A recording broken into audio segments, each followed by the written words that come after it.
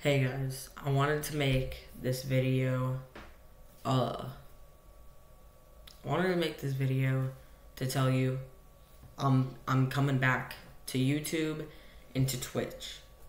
Uh, I'm gonna be streaming on Twitch, and yeah, I'm probably gonna be streaming almost every day, not every day, but I'm gonna try streaming like a lot.